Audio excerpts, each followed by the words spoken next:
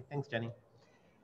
So hello, museum families, and welcome to RBCM at Home Kids, a playdate through screens across British Columbia and the world. Um, the previous sessions are recorded and you can find them on our Royal BC Museum YouTube page. And I know we have a lot of new um, visitors, lots of new friends today. So welcome and we're really happy that you're here. Just a reminder, this is a webinar, so we can see your comments, uh, but we can't see you. Um, but you can see us and you can um, make comments whenever you want throughout the session, whether you're on Facebook Live or you're on Zoom. So my name is Chris O'Connor and I'm a learning program developer here at the Royal BC Museum. The museum and my home is on the territory of the Lekwungen speaking people, the Songhees and Esquimalt nations here in Victoria on Vancouver Island. Um, I'm an uninvited guest on this territory. I'm grateful to live, learn, and raise a family on this land. And I know a lot of people visiting right now are not from uh, or not in Victoria right now. So you could think about which what traditional territories are you on uh, that you are living on right now? What indigenous uh, nations are, are um, lands are you, are you on right now? So last, last month, we, we started a new tradition here at RBCM at Home Kids by having the first week of the month be a dedicated museum field trip. Since we can't have classes come in person this year, we'll go exploring digitally instead. Most, most other weeks I have a guest on and we do activities, but this is more of a like exploring the museum um, session. Um, so last, last time we went up to the train station in Old Town, if you've been to the museum before, and today we're gonna go to another one of my favorite areas of the museum. But I wanted to say, when I was a kid, I lived, I was living in, in Philadelphia, a long way away in the United States, and my favorite museum was the Franklin Institute, which is a science museum. And in particular, my favorite part of them uh, was the large, there was a large heart that you could walk up into and travel through. And at the end, there was even a slide that you slid down. It was great. And you also, the sound of the heart beating, and you would go through these narrow tunnels. And it was amazing. It was exactly what I wanted as a kid. Um, and ever since, I particularly love museums that make me feel like I'm in the environment. And the and the place we're going to go today, the Natural History Gallery here at the Royal BC Museum, is just like that, where there are bears and beetles and birds and trees, and also one animal that I particularly love. And I'm going to show you a little bit of it right now. And I want you to guess. Here, I'm going to take away. That's great. I'm going to, I want you to try to guess what animal is it that I'm starting to show?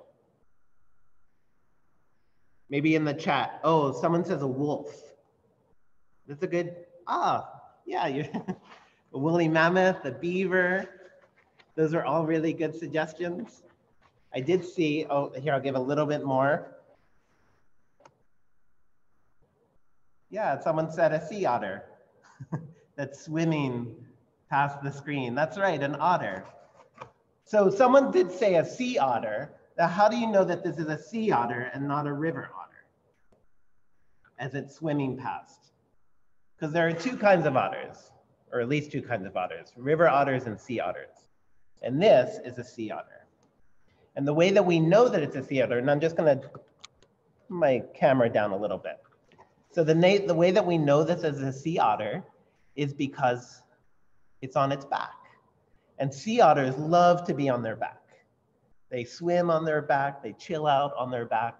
They love being on their back. They even hold their babies on their back. The babies are on their belly, but they're on their back. So they're most of their life, they're on their back because that just feels good for them.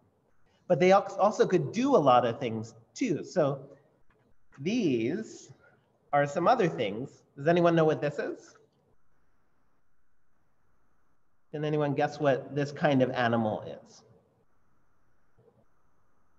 Ah, uh, yeah, right. I see some sea urchins. So this is a sea urchin. A sea urchin, um, it has spines. So this is one with spines, and then this is one without spines, that the spines just fell off. But in the wild, they would have spines, and sea otters love sea urchins. and they hold them in their little cute little arms. They hold the sea urchin. But sea urchins are pretty hard to get into. They're, they're like, it's, it's hard to get into the meat of the sea urchin. So what they do is they get a little rock, they hold the sea urchin and they hit the rock, they hit the rock against the sea urchin to break it open.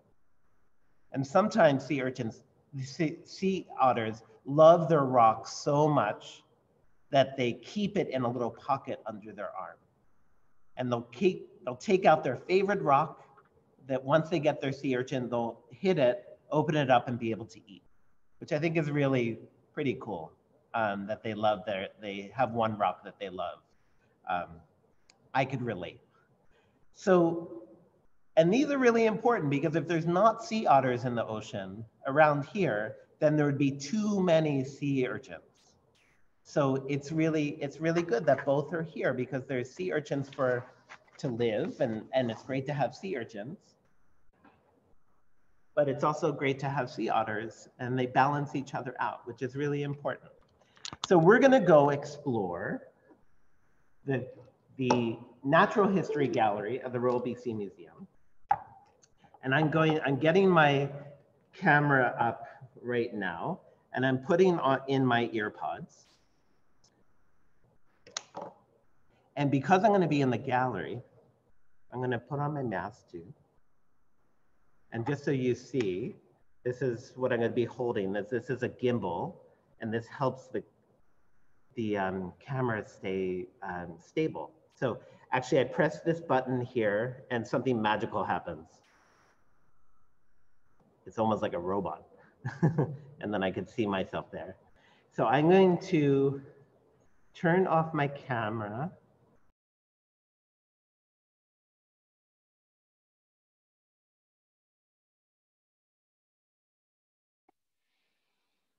And Jenny, if you could spot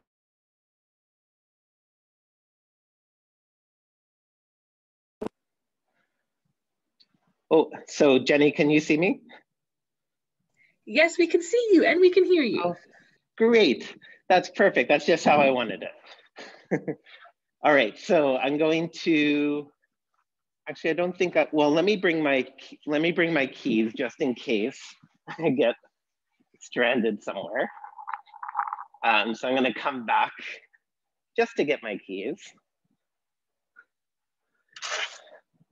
So where I am right now is the Learning Center of the Royal BC Museum.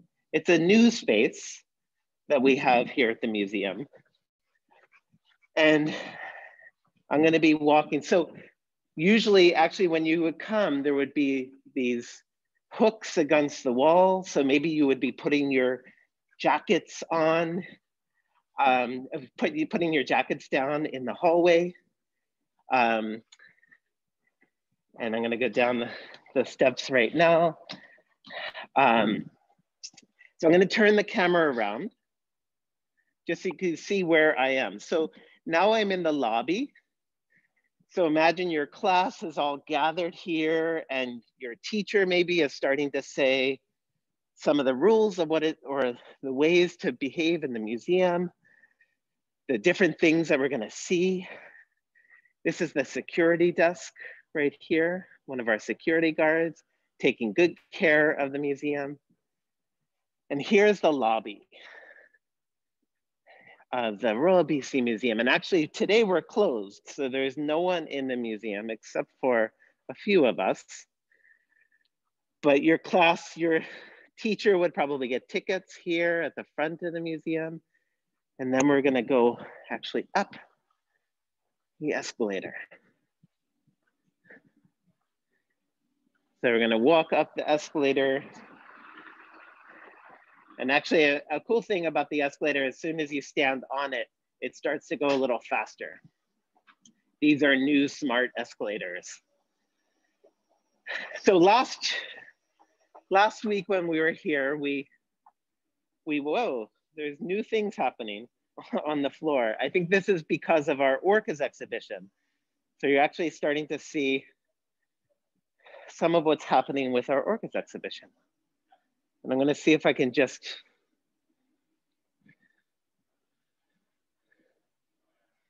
go past here. So we have some workers working on the museum while the museum is closed. So we're now in the Natural History Gallery. And the place that I wanna take you to is past the woolly mammoth here, but maybe another month we'll come back to the woolly mammoth. And we're gonna go around the hallway here. And remember I said there were beetles. So in this hallway, there's a big beetle. That's a big model of a beetle. We also, there's other animals.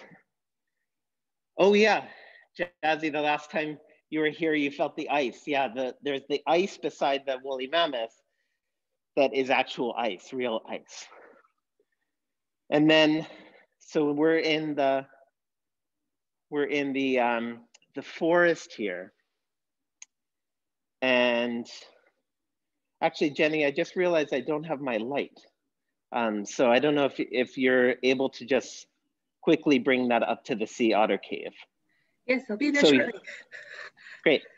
So we're, this is in the forest. And actually, I just noticed today, just, just off to the center, I think we put some light there to make it look like it's a sunrise or sunset.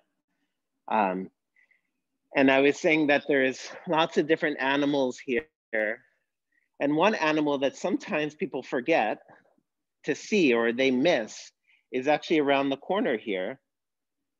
There's a cougar that's hanging out uh, right around the corner. And there's that new light that looks like, I think it looks like a sunset, like the sun is setting. All right, so when we go, when I go from the forest to the um, to the ocean when I'm walking in the forest in real life, not at the museum. I love that feeling of going from the forest into the ocean, the way the sound changes, the way that the feel of the air coming off the ocean. So this is where we are right now. We're in the we're in the ocean area. So we went from the forest to the ocean and actually, this is a this is a part of the museum that is supposed to be, this area right here is Long Beach by Tofino or in Tofino. So we try to create these dioramas, they're called dioramas. So parts of the museum that look like environments, we tried to make them look like actual places in British Columbia. And there's a big sea lion here who's doing a really good stretch. Actually, try to do that at home too. Like take your, just stretch your, your um, back like that. You can go down on the floor if you want to put your hands on the floor and stretch your arm back, your head back to stretch like that. Thanks, Jenny. So the sea lion, and you're also, you're also here. Oh, so the question is um, from AJ, is it real? That's a really good question. So this sea lion is real, or it was real, it was alive. Everything that we have in the museum, it lived a good life and then it died. Um, we don't go out and kill animals, um, but when they do die, sometimes they're donated to the museum. And so this was a real sea lion and now it lives in the museum so people can, because usually you wouldn't be able to get this close to a sea lion in real life. So it's pretty fun to be able to get close to, to a sea lion. And you, AJ, you were saying, is it real? We actually do have some things at the museum that are real and actually alive. Oh, and actually this, this is exciting. The crab is trying to get out of the tide pool here. I was trying to get closer the crab is, I've never seen the crab get that far out of the tide pool. So um, very exciting. And then in the tide pool, there's also, besides the crab, there's, um, there's a sea anemone there. And these are all live animals. Seagrass. Um, there's a chiton down there and barnacles. There's lots of beautiful barnacles. And then this sea star too. So most of the things in the museum are not real, but then we do have some things in the museum that are real. Yeah, that is sad. And it's, uh, AJ, but just saying that it's, it's sad that the sea lion died. And well, I'd like to think that they, they lived a really good life and now they're able to be in the museum and be able to be and um, be with lots of people and for people to see them and be with them. Um, but it, it does, yeah, I sometimes feel that too, that it's, it's sad. Um, so one of the things that around the corner here, something that might look a little familiar of what we saw before. Yeah, the backgrounds do look so real. It almost feels like you could just go out into the water and swim there or take a kayak. So the birds to the right here are oyster catchers. They look like they have carrots for, for beaks, I sometimes think. Um, but then this, yeah, it's, a, it's actually, it's an otter, but is this a sea otter or is it a river otter? What do you think? Uh, comments from the uh, chat or, um, and why do you think it's a river otter or a sea otter? Yeah, I see a, quite a few comments of that river, a river otter. Remember I was saying that sea otters are on their back, um, but this one is not on its back, it's actually standing up. Um, so this, even though it's by the sea, and there's lots of river otters that hang out in the sea, but this is a river otter, not a sea otter. And my favorite part of the museum, and that's why I wanted to bring you here, is there's another way of seeing the river otter, and it's around the corner here to this cave. So this is a cave where we could look at the river otter again, but through this perspective, which is kind of cool. It feels like you're inside of a cave. And if you look, oh, wait just a second. See how the water? Yeah, you just saw water. That's right, because it actually is water. So water, and you, if you were here, you would smell the water as well. So my question to you is how is it that how is it that we have the water coming how do we have the water coming into this cave? Any ideas? And I had one of I have one of the questions is can you walk into it? So usually you can't, but now actually we're going to we are going to walk into it. This is something you can't do if you just come for a regular visit. So this is a special museum field trip thing that we're gonna do. But I did see some answers of a pump. Um, so maybe it's a pump that pumps the water in. Maybe there's pipes that pipe the water in.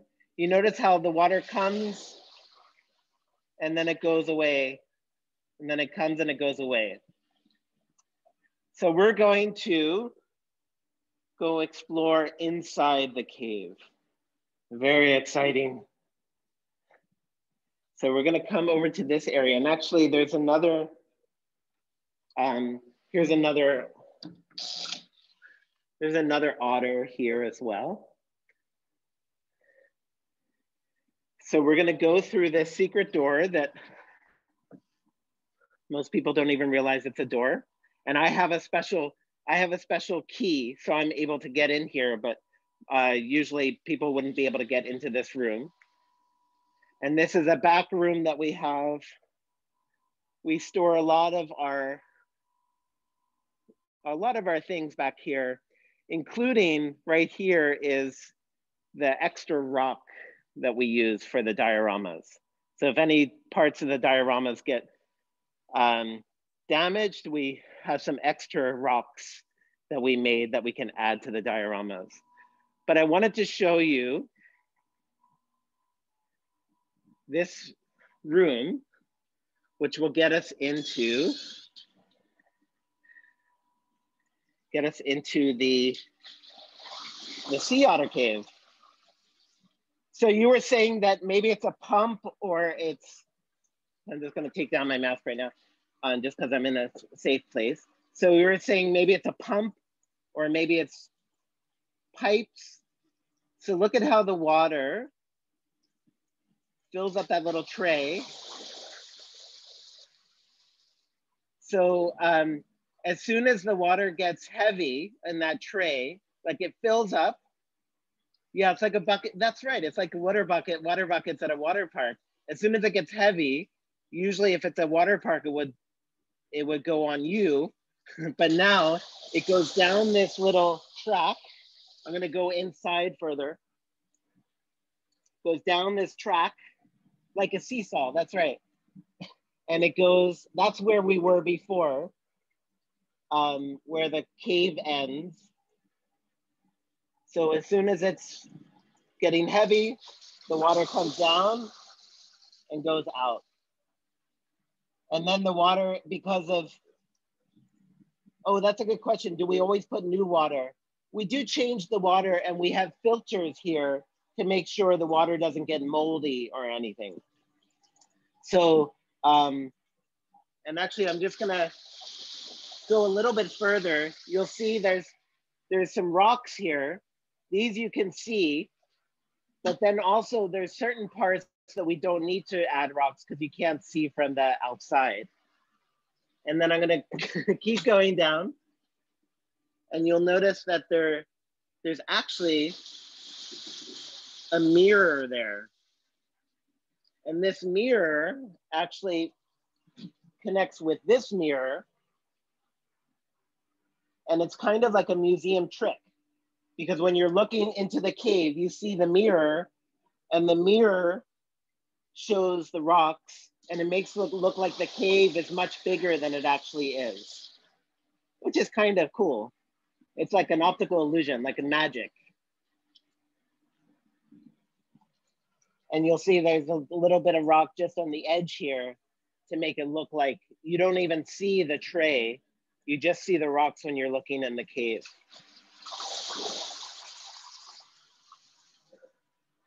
So I'm gonna go back out and we'll we'll look at that area again from the, the where we first saw them, when we first saw it. So that's where we were. Just kind of cool, huh? And if we were here, it's tempting to go into the cave, but actually I'll show you. Um, I don't know if it's on right now, but there's a little laser that is a little laser across. So if someone was going to try to get into the cave, the laser would just indicate that someone was trying to get in and an alarm would go off. So that's how we keep the diorama safe by having just little alarms just to make sure that no one actually goes into the dioramas unless they're with someone like me as a staff. So are there, oh no, it hasn't gone off. It's still, it's still going, but we just went a little bit away from it right now. So um, are there any questions about this sea, the seashore, the cave, the forest? There is a question, Chris, yeah. about uh, a little bit more about the water. So once it drops yeah. and goes and splashes, where does it go after? Yeah, that's How a really good question. That is an excellent question. And we're gonna, we'll go back to the inside the cave and see how that works.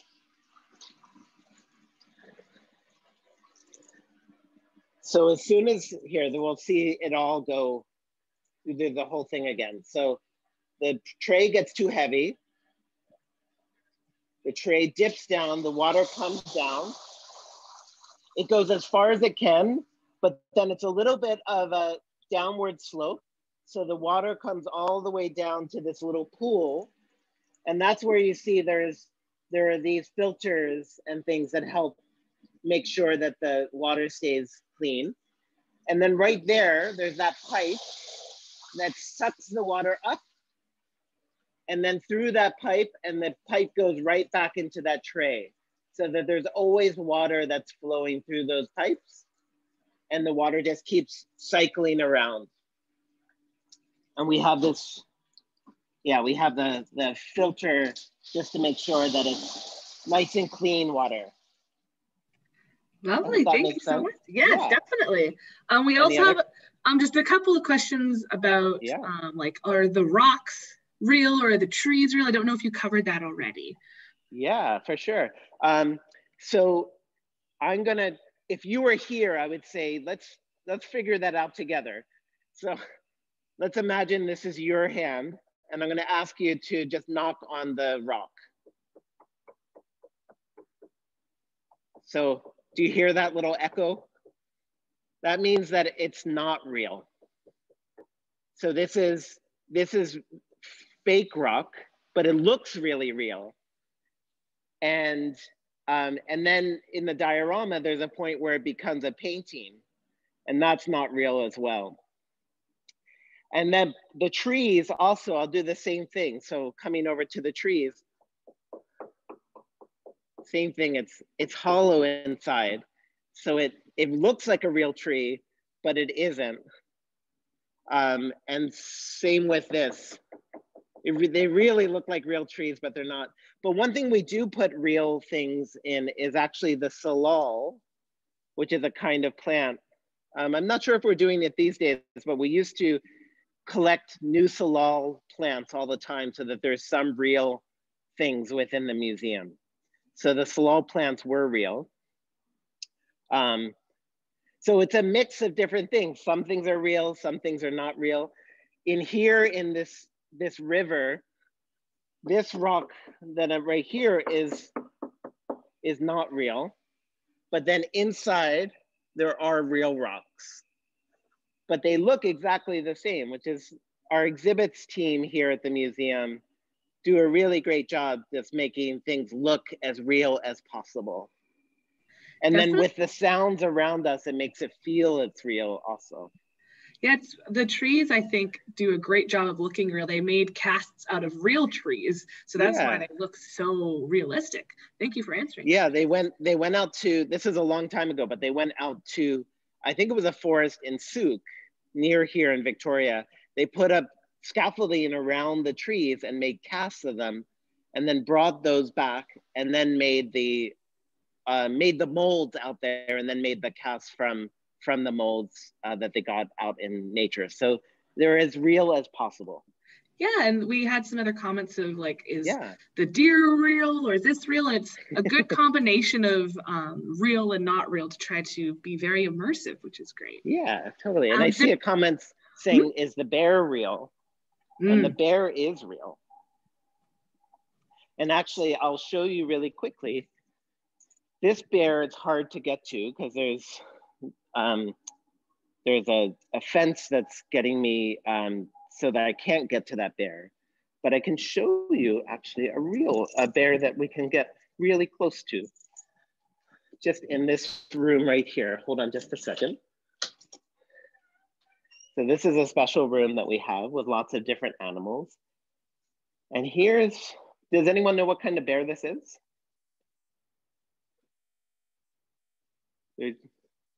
Yeah, a grizzly bear. That's right. Yeah, I see a lot of grizzly bears. So that's, it is a grizzly bear and we can get really close to it. And if you were here, I would say you could even touch it too.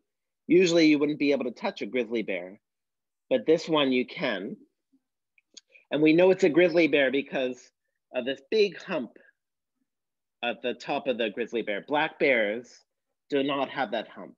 So it's one of the easiest ways to tell that what some if something's a grizzly bear.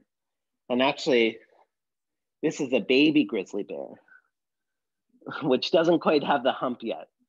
Um, but that's a big, yeah, I, I think all too, like it's a, it's very cute. So it's that small and then it grows to be this huge. And they, they get this big hump because they do a lot of digging um, for roots and berries and, and, and other things. Um, so they build that muscle. Um, yeah, yeah, that's, yeah, go ahead. Just a couple questions about like for the real animals are sure. like, do they, um, did they be put in those positions? So like the sea lion, was it in that position when it died and that's how you can make it look like that or? Yeah, that, that is a really good question. So I'm, I'm showing right now a wolf that we have. This is our, we, we call this wolf mystic. Um, and Mystic uh, also, again, lived a really long life and, um, and died and was donated to the museum.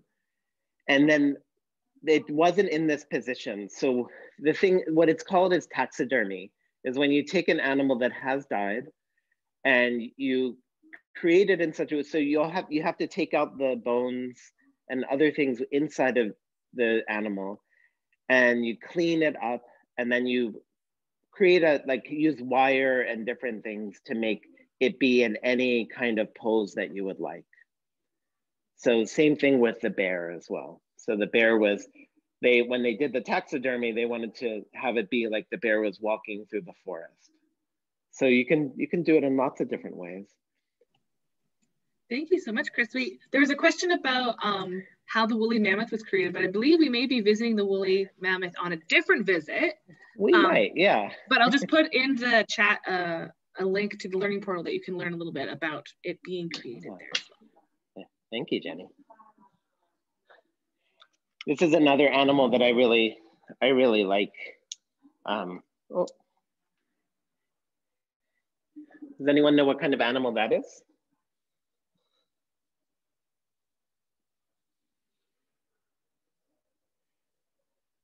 Oh, it does look like a beaver or a badger.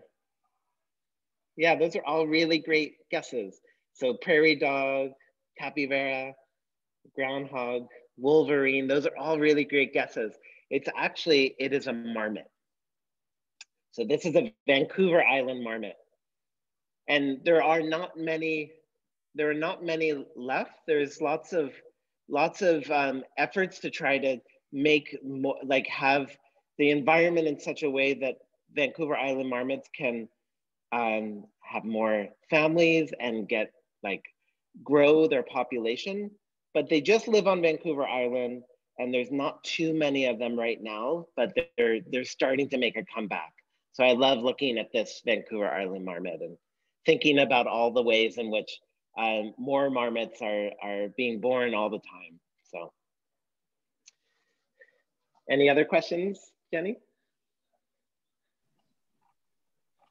Um, we have a couple questions about the crab that you showed. I believe there yeah, were live creatures of where did the crab come from? Or what type of crab is it? Yeah.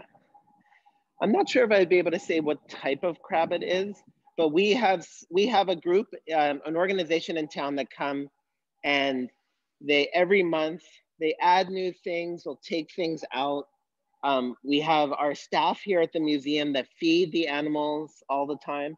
Where is that crab? Oh, there, it went all the way across to the other side of the tide pool. So it gave up its uh, thing of wanting to, to get out.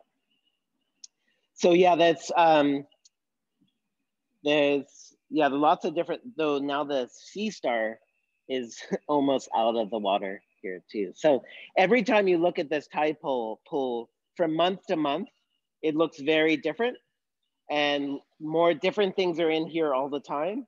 And we have staff that are taking care of the animals and making sure that they have enough food um, and the things that are in here get along as well. Oh, does the crab look angry? oh. Yeah, crabs are pretty expressive. I wish I could pick it up, but um, we we have a rule here, and I'll show you the sign that we have. So if you have fins or gills, you can play in the pool. But if not, please don't put your hands in the water. It's home to living animals. So I don't have gills or fins, so, so I will not put my hand in the water. We have a, another question. Um, yeah. When you just showed the beaver, um, the the marmot, the is there a difference between a beaver? Like, what is the difference between a beaver and a marmot? Yeah, that's a great question. And maybe um, I know we're probably getting close to the end, um, so let's just. The great thing about the museum. So here's a good opportunity. The great thing about the museum is that there's lots of different um, animals here, and the animals help us understand natural history. So if we can look at one animal compared to another animal, then it will give us a sense of how they are different. So this, I didn't show you this before, So this is a beaver. So just look at that and get a sense like, what, what do you notice about this beaver? Look at it, its feet. Look at its tail. Observe that there, its uh, claws are a little, yeah, flat feet, webbed feet. Its claws are a little broken, but it has claws. And just look at the way it looks like in the front. So this is a beaver and it's kind of a little bit fat, like wide. And then we'll go around the corner.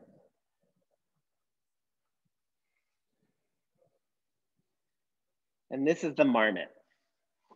So from what you remember about looking at the beaver, what's different? This is using your observation skills. What's different from what we saw with the beaver? Yeah, the tail is different. Look, the tail with the beaver was flat. This beaver has a, bush, a bushy round tail. Someone said the feet, that's right. So there's there's not the webbed feet. There's the, the claws, but not the webbed feet. It is smaller, yeah, like it's not as wide, but it's also smaller in size too. And the hands, that's right. Yeah, so these hands, what do you notice about these hands? They're, here, I'll turn on the light as well, just so you can see. These hands are longer, the claws are longer, the sharper claws, that's right.